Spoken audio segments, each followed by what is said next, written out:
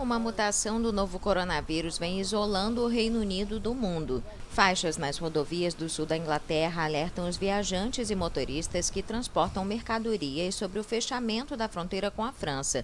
O país anunciou no domingo à noite a suspensão das ligações terrestres, marítimas e aéreas com o território britânico durante 48 horas. Muitos produtos importados pelo Reino Unido chegam ao país a partir da França. Uma importante rede de supermercados, Sainsbury's, advertiu que se as perturbações persistirem, o país pode registrar falta de alimentos frescos. As autoridades garantiram que os estoques podem durar vários dias, mas existe o temor de uma corrida dos consumidores vítimas do pânico a quatro dias das festas de Natal. Embora não pareça mais letal do que as anteriores, a nova cepa do coronavírus é até 70% mais contagiosa.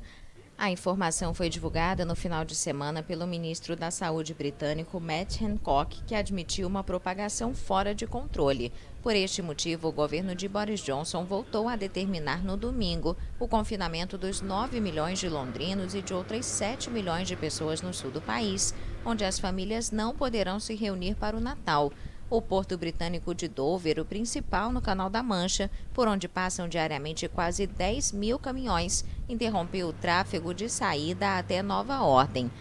Além da França, países como Espanha, Portugal, Alemanha, Rússia e Itália proibiram a entrada de cidadãos procedentes do Reino Unido.